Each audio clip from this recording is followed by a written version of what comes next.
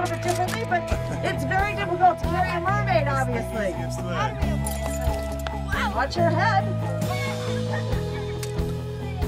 All right, Mermaid Athena.